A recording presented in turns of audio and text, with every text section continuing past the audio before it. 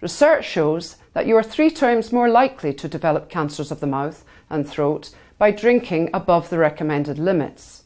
And many people drink more than they think, putting themselves at risk.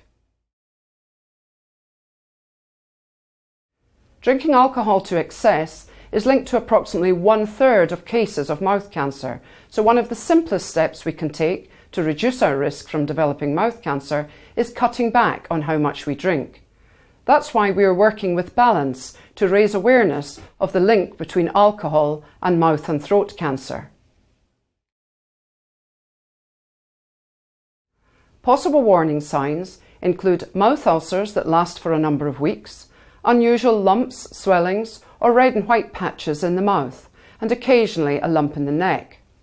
Anyone spotting these signs or symptoms should discuss them with a dental professional.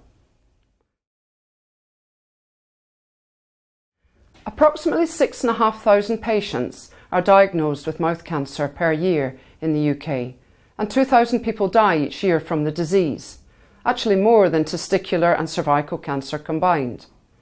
The majority of patients are over 50, but there is a significant increase in the under 45 age group.